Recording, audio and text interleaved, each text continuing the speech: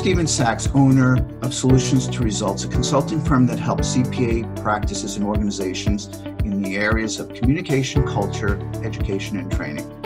Our guest today is Gary Cokins. Gary is an internationally recognized expert speaker and author on enterprise and corporate performance management improvement methods and business analytics. He has been a consultant with Deloitte, KPMG, and SAS, the large analytics software company. He is the founder of the North Carolina based firm Analytics Based Performance Management. Gary is also the author of Performance Management integrating strategy execution methodologies, methodologies, risk and analytics, and predictive business analytics, both published by John Wiley and Sons. Welcome, Gary. Pleasure to be here, Steven. Uh, you've authored books and articles about enterprise and corporate performance management. Can you briefly describe what EPM and CPM are? News EPM and CPM are basically synonymous because public sector people don't like the word C, but they're really the same thing.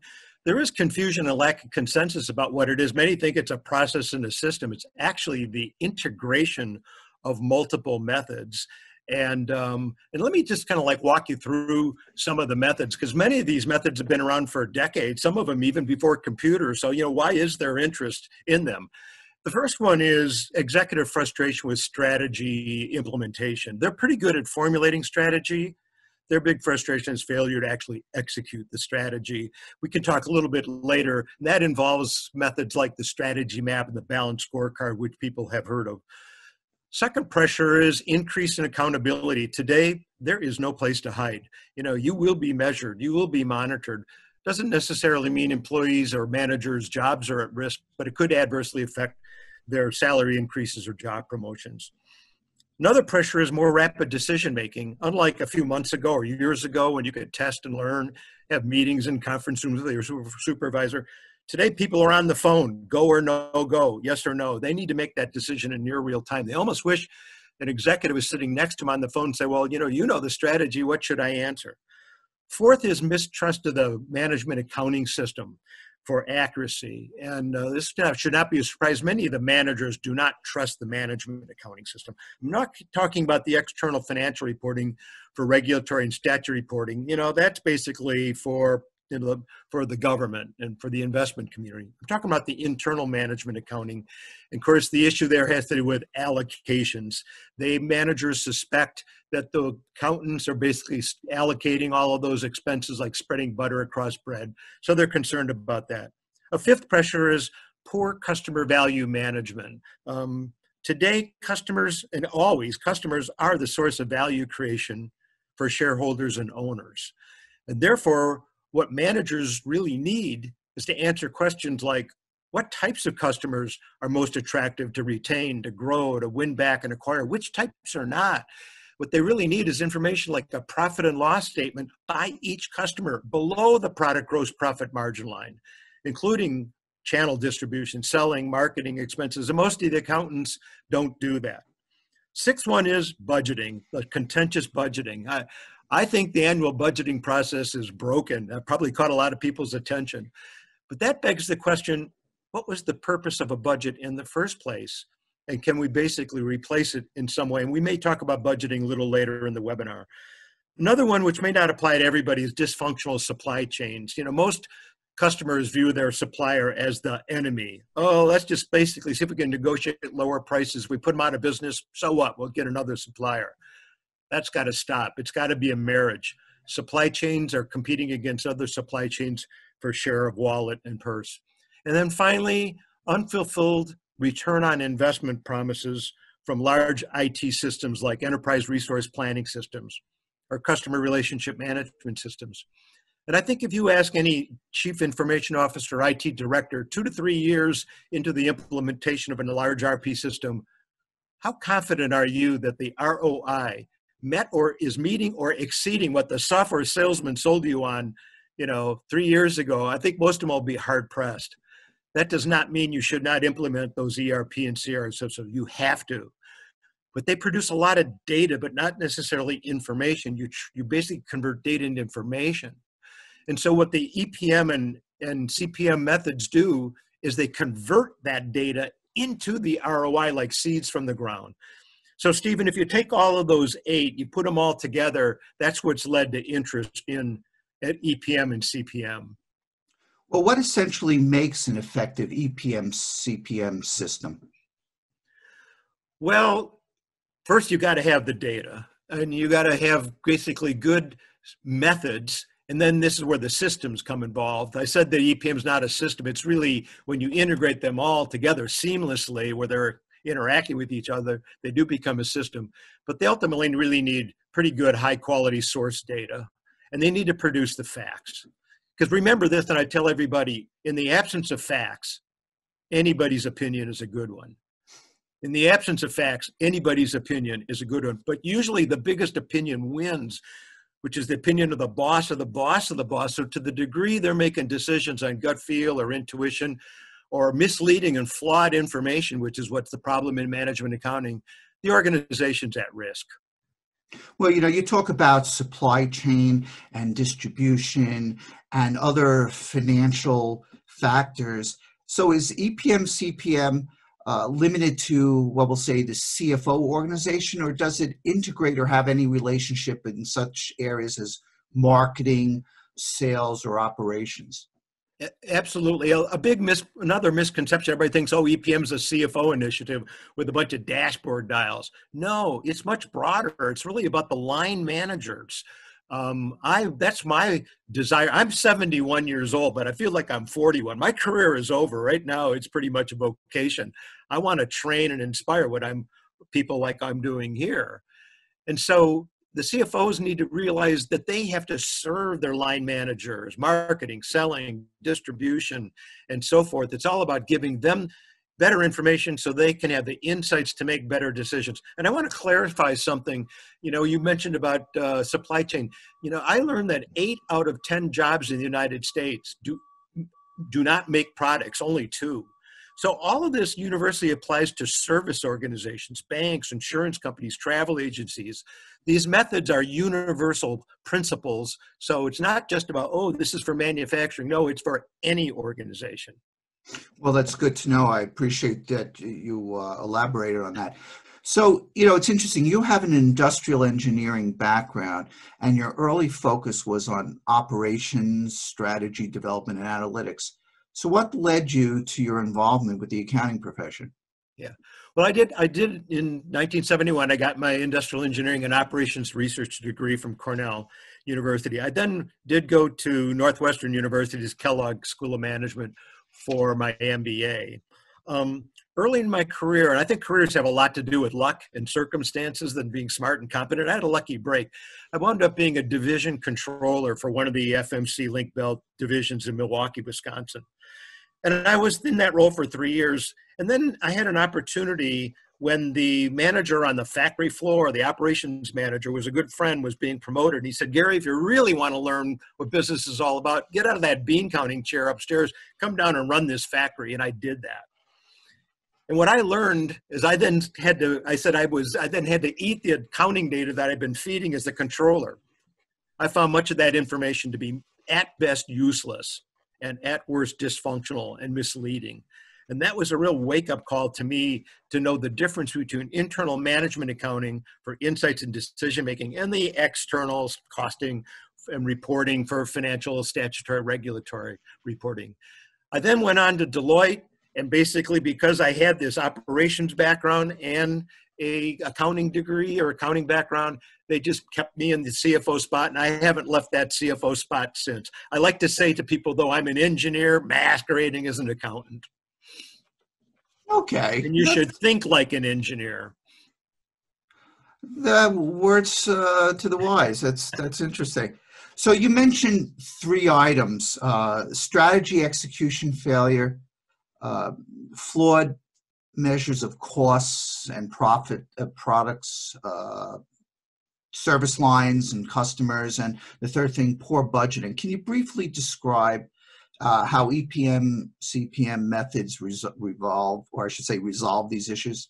Well, now we're actually diving into the actual techniques that are in these various, you know, methods. So for the first one, the strategy map and the balanced scorecard, if you Google it, you know, designed by Professor Robert S. Kaplan of the Harvard Business School. And I was fortunate, I got trained by Professor Kaplan with KPMG. He had a contract there in activity-based costing.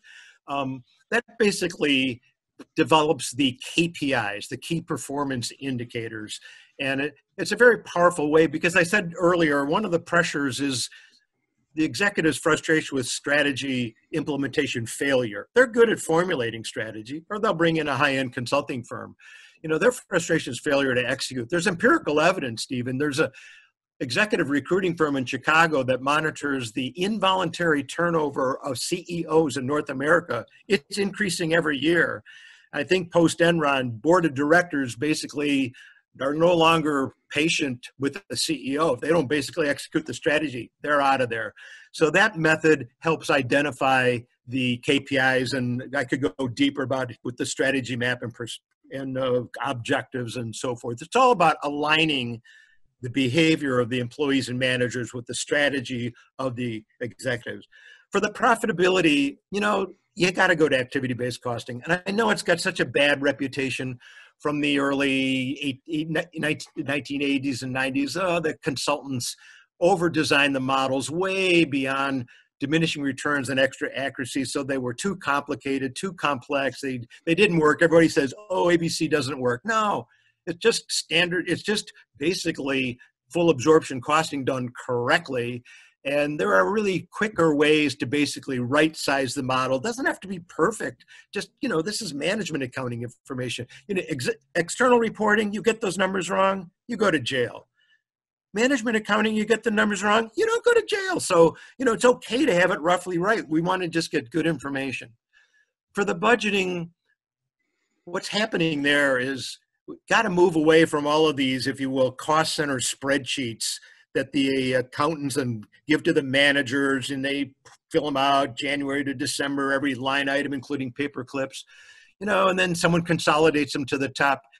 That really isn't really the way to go. The way to go is really be, understand all of these unit cost consumption rates. This is where you think like an engineer. Forecast the volume and mix of the products or service lines that are coming at the future multiply those quantities back times the unit cost rates to solve for the level of capacity, number of employees and types of employees, and spend with suppliers. It's really modeling. It's not T accounts and journal entries, that kind of stuff. So that's a real quick overview about how you can basically uh, pursue those three of the eight examples with uh, uh, methods and techniques um, that are under the corporate performance management umbrella. How can business analytics enhance EPM and CPM methods? Can you provide some examples of that? Yeah, well, first, the eight these methods that I've been describing with you, they're powerful in and of themselves. When you embed analytics into them, you turbocharge them. You make them even more powerful. Now, an example would be on the strategy map, which I talked about.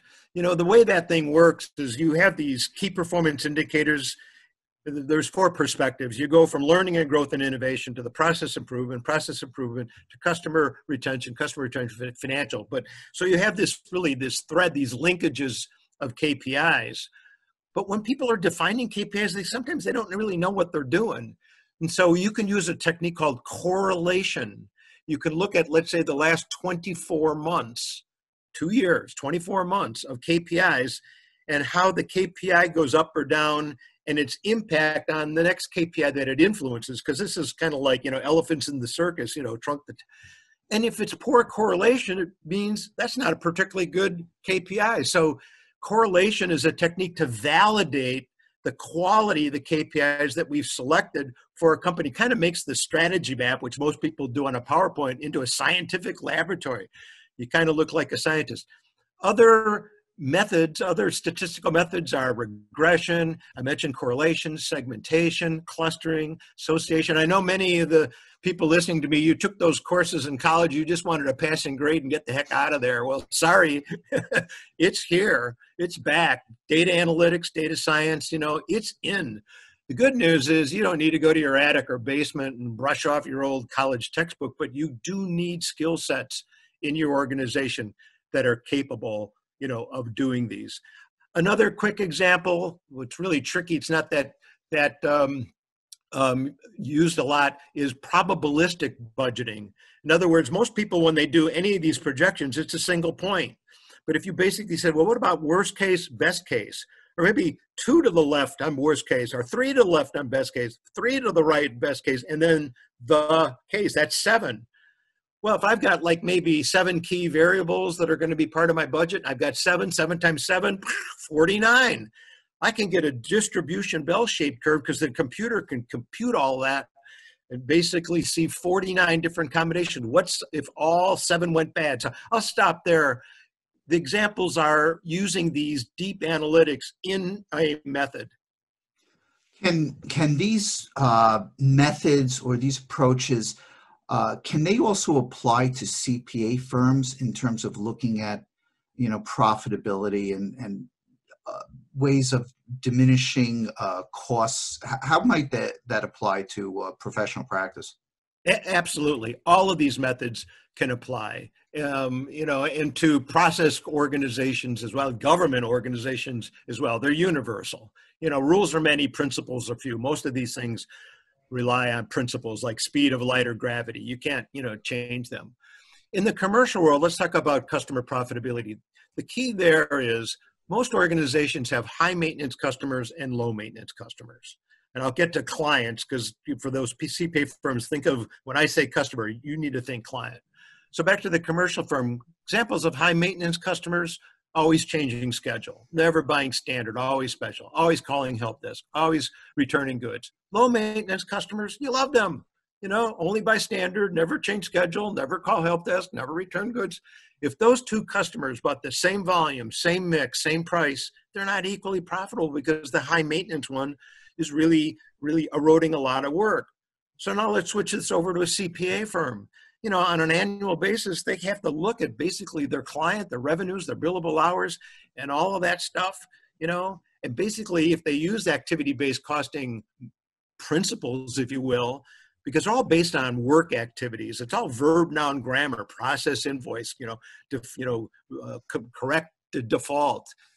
They would get the visibility, what differentiates, what causes high client profit, high, very profitable clients from low profitable clients. And that's the real purpose of management accounting. It's to generate questions. I always tell people, you know, the accounting information doesn't give you answers. It gives you questions to ask. And with those questions, then you can investigate. What are some of the barriers and obstacles that uh, slow the adoption of organizations to implement or apply EPM and CPM methods? Well, you're onto a question that really is about is bothersome to me. This adoption rate for all these methods is agonizingly slow. It's really it's pathetic. I get frustrated by it. About five percent of organizations where activity-based costing applies don't. They still spread the butter, meaning they allocate indirect expense on number of units produced, sales dollar, labor hour, and all violates the uh, the causality principle, which is what's so key in, in modeling. The barriers have nothing to do with the systems method. They're all behavioral. The biggest one is resistance to change.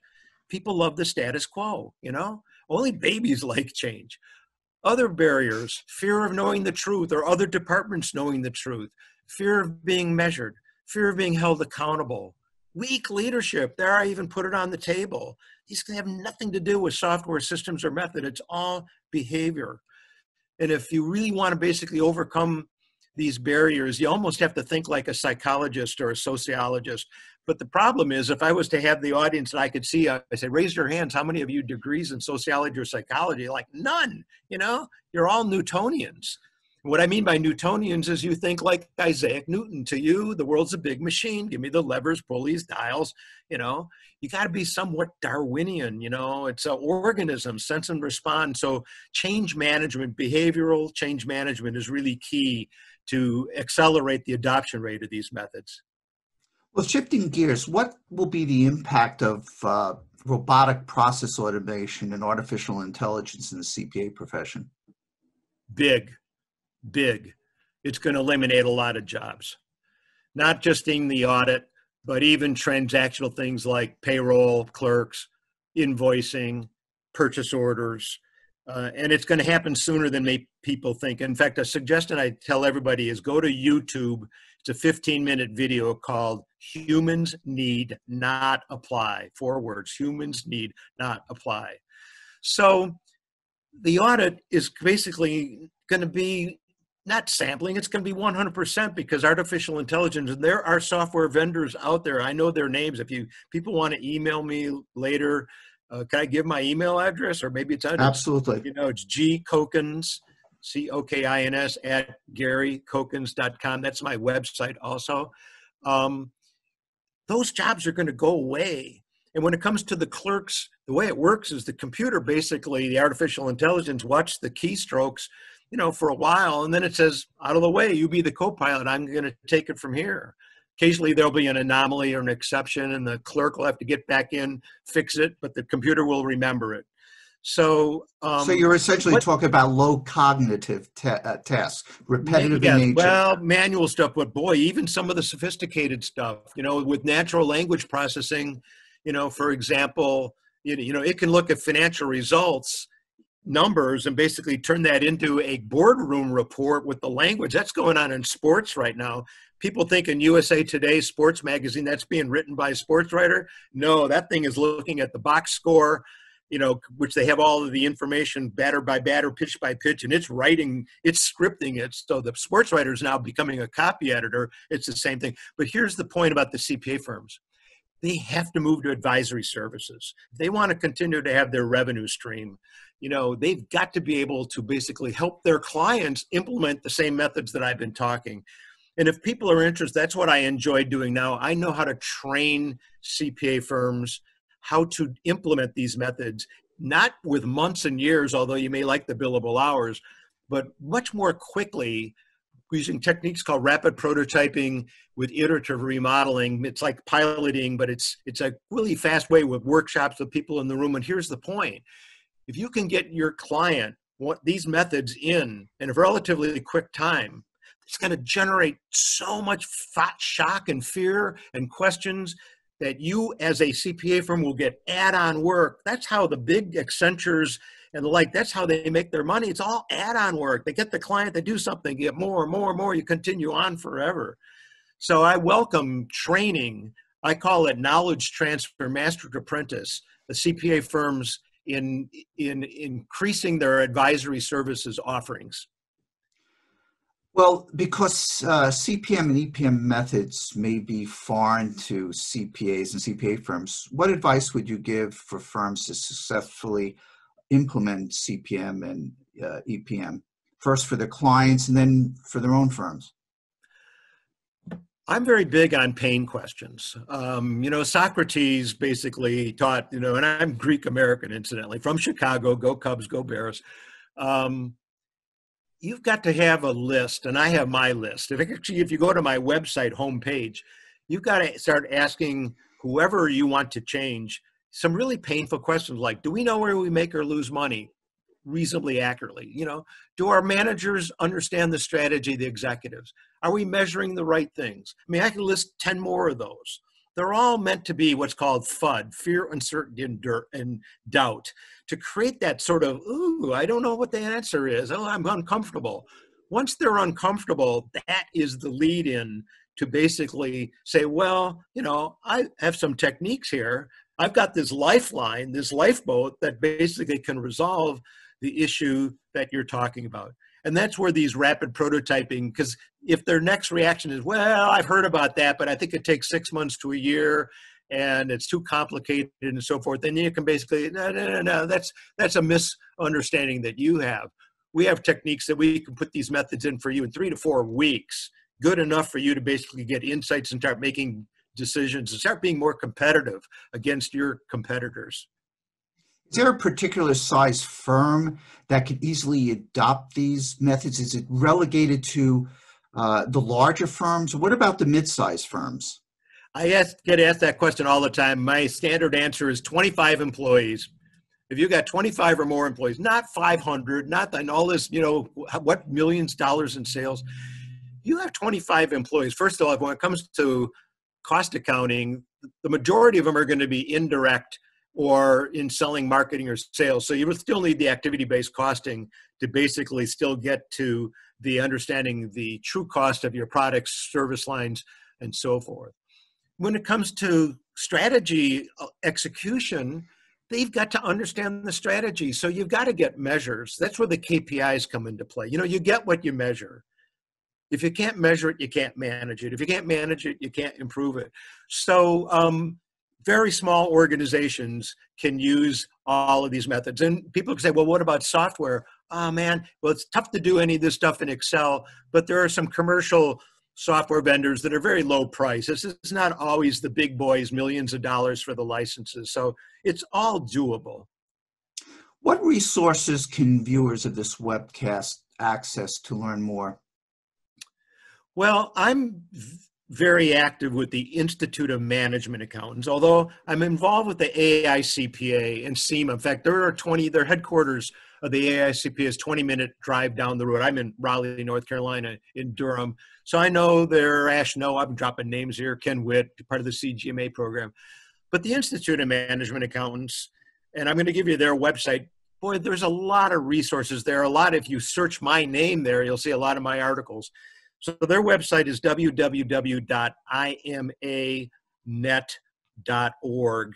And, um, you know, you don't have to get a CMA necessarily, but enough. Well, thank you, Gary. I appreciate you sharing all your wisdom today in the area of EPM and CPM. And I think this is probably an introduction to some of uh, the more advanced stuff. On this, I think in the past, the best leaders and best executives had the best answers. Today, I think that's the case.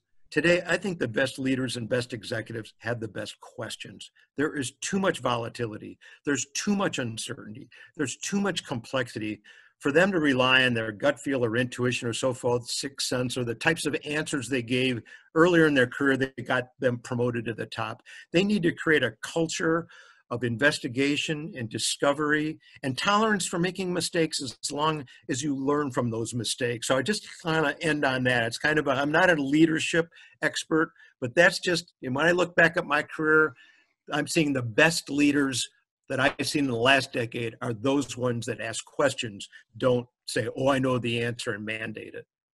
Thank you very much today again, Gary, and I look forward to working with you on future shows. It was a privilege. Thank you, Steven. Thank you. Take care now.